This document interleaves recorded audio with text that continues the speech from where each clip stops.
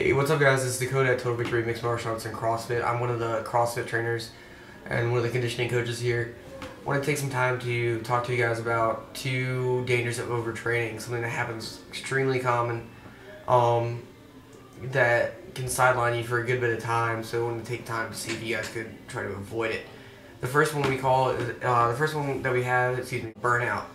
The burnout is easily the most common one because most people, when they start a new program, will deal with this before they deal with any of the other stuff. Um, well, everybody needs motivation to start a workout, whether it be an old picture of yourself that you deemed unsightly, or you wanted to lose weight, your doctor told you to lose weight, or even if you like you see a motivational video on YouTube and you decide to go lift weights. Um, the the problem is holding this motivation. So what a lot of people will do is they'll go start a new workout plan and hit the gym every day, every day, every day.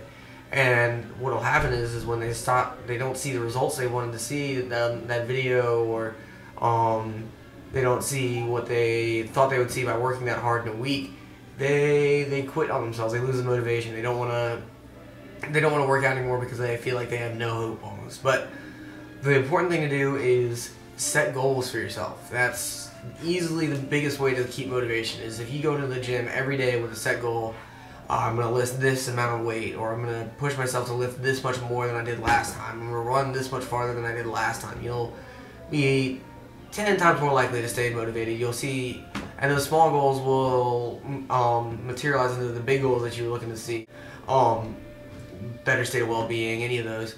The, the, the biggest thing that I can recommend to you guys is that you take advantage of any personal trainers that your gym has.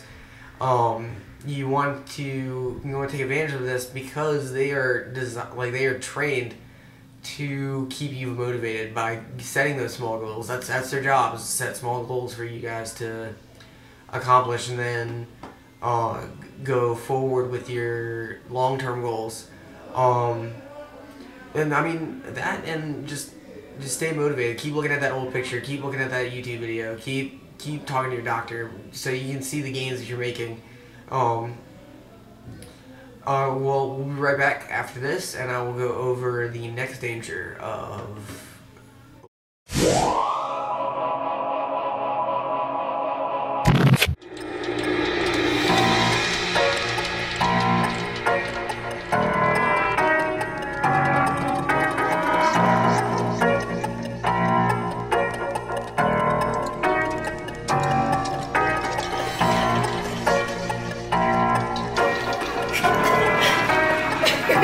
my god.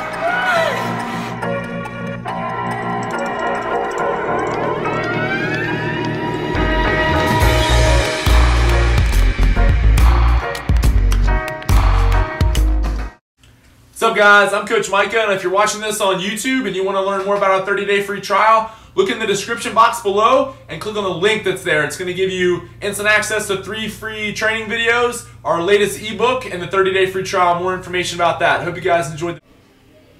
What's up guys, we're back again. I'm Dakota at Total Victory Mixed Martial Arts and CrossFit. I'm a conditioning coach here. Um, what the next danger of overtraining I'm going to go over is the it's a it's a physical danger. It's it's very very serious. Um, it most most commonly occurs in severe trauma victims such as like a car crash or even natural disasters such as earthquakes with massive amounts of weight falling on them. But this can also this um, condition can also occur in the body due to overexertion. It's called rhabdomyolysis. It's a mouthful, and if you see it spelled out, you kind of just want to say bless you after that because you thought they sneezed when they said it. But this is no joke. This is very bad. I've had it before, or thought I had it, and then it ended up being, but they treated it like I was on a deathbed. It was bad. Um, what it is is it's a it's a condition caused by overexertion and severe trauma, like I said. But what happens is when the muscles are put under extreme stress, stress to the point where they can't take it anymore, um, they will more often than not break down and they will release whatever whatever they're holding and their um whatever the muscle is holding into the bloodstream and this can this can be very very dangerous and there's one in particular called myoglobin and that's you don't you want that in the bloodstream, but it's very poisonous to your kidneys. It can actually nine times out of ten it will cause kidney failure, and it you will be put on dialysis, and it's it's bad. You have to wait a really long time for your kidneys to clear out, and then even on top of that, your body will become more susceptible to rhabdomyolysis as you as you keep training. It's like a heat stroke. Once you've had it once, you're more susceptible to it more often. Um, it's going to be the same exact way. Once you start overtraining again, your body is that much more likely to do it. So, I mean, this one is very, very dangerous. It happens a lot within CrossFit. Um, if you go on the CrossFit website, they have that all plastered all over the place. So, no overtraining. You don't want rhabdomyolysis. Um, the, the biggest thing to do is to, to stay motivated. The, this goes back to another way is to set those goals. If you set those goals, you won't overdo it in the gym.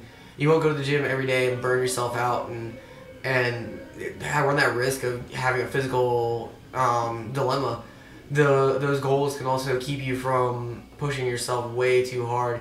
I mean, the biggest thing to remember is that you didn't get out of shape in one day. Like it didn't happen over a week.